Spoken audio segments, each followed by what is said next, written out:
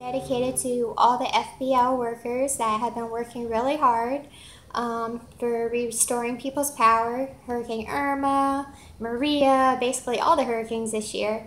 Um, I hope you guys like this song, and I just want to let you guys know that you guys are appreciated. Okay, here goes it.